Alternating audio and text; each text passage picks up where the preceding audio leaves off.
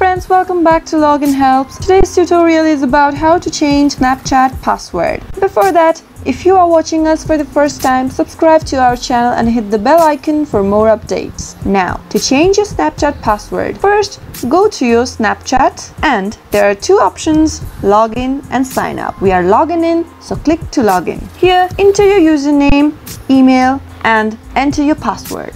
Now click login. After logging in, go to the profile sign on the top left corner. Now you'll reach to your Snapchat profile. Now go to the setting button on the top right corner. Click to password. To set a new password, enter your current password. Now here you need to type your new password, confirm your new password again and click save. That is it friends, your password has been updated. This is how you change your Snapchat password.